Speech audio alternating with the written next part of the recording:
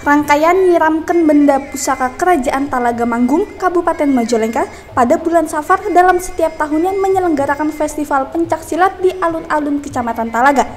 Festival pencak silat yang diikuti oleh 18 perguruan di Kabupaten Majalengka dinilai panitia memenuhi kriteria dan akan diikut sertakan dalam ajang lomba di tingkat Provinsi Jawa Barat.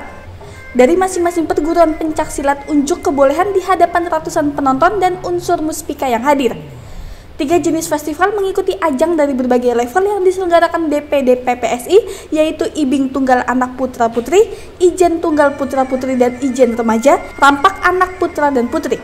Terdapat empat kriteria penilaian dalam kegiatan ini sebagai tolak ukur panitia dalam menentukan juara, di antaranya aspek ungguh, adek, pola pencah, dan wirahma. Tujuan utamanya kan memulai lah.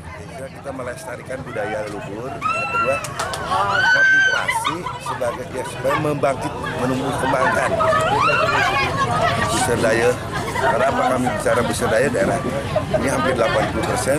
Para perguruan itu daerah Insya Allah ke tengah dan utara juga kami tahun depan tidak akan di sini aja. Ya, mungkin tahun depan sana di tengah dan utara untuk membangkit menumbuh kembangkan semangat melestarikan.